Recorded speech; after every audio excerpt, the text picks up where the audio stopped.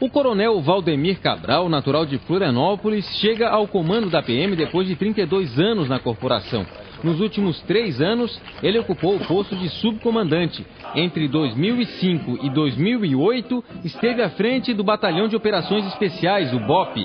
Coronel Cabral é casado com a procuradora de Justiça Heloísa Abdala Freire e tem três filhos.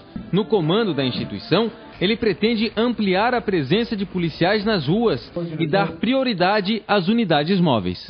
Nós precisamos é, botar o homem na rua, nós precisamos que o, os policiais sejam vistos pela comunidade, nós precisamos aumentar a, a sensação de segurança porque nosso estado é seguro, nosso estado é o estado mais seguro do Brasil, a capital mais segura, mas mesmo assim nós temos crimes e violência. Então nós temos que tentar atacar esses pequenos bolsões de crime e violência.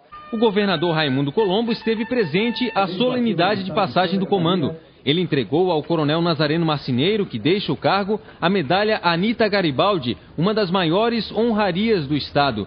Marcineiro ficou no comando da instituição por três anos e quatro meses e pretende agora dedicar-se à vida acadêmica. Nós trabalhamos intensamente para integrar a corporação. Hoje nós somos uma única polícia, de soldado a coronel. Foram um, um avanço muito grande e é, o momento é de realização, é de conclusão de uma etapa. A solenidade também serviu para comemorar o aniversário da Polícia Militar de Santa Catarina, que completou em 2014 179 anos.